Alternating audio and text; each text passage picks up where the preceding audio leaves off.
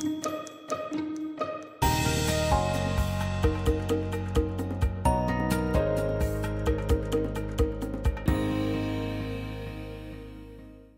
ice cream our secret weapon for shrugging off years of bad news, from the recession and its aftermath to the latest blow by Hurricane Sandy?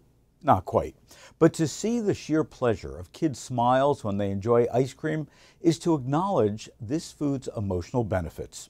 Have to wonder if this accessible, low cost treat, consumed a few times a week, could actually help American adults cope with daily stresses that melt the fun from routine activities. Supermarkets that pursue a higher profile ice cream effort, perhaps with a dipping counter, could help make their stores happier places and generate new visits. Remember how our parents used to talk about their joy going to the corner drugstore to meet their friends and get a cone? It's time to borrow a page from retailers, Thrifty drugstores, and Walgreens, which have made ice cream their calling card. According to Mintel, the ice cream and frozen novelty market emerged from its deep freeze in 2011 with a 4.1% rise in U.S. retail sales to just under $11 billion, and a forecast of yet another 4% gain for this year.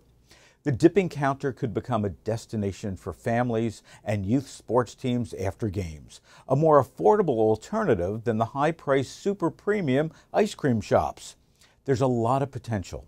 Americans eat the most ice cream per capita in the world, 17 liters per person. Smile, say cheese when we return. Conagra Foods. With brands like these, we can't help but smile. Conagra Foods.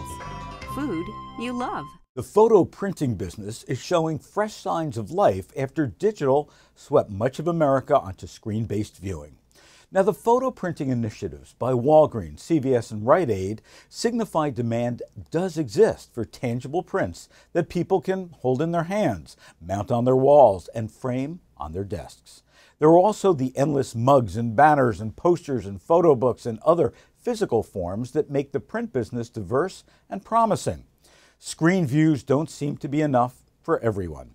Photos aren't always about posting on Facebook. They're also about memories, milestones, and the money that supermarkets could make if instead of abdicating the business, they find ways to marry up resilient photo print demand with its digital execution and future.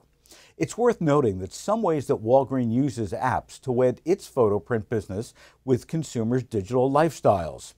Print from Facebook this allows users to choose photos from Facebook albums to print and pick up at a local store within one hour. Printworthy. Users can create and print a print-worthy card using a photo from Facebook albums with likes and dislikes.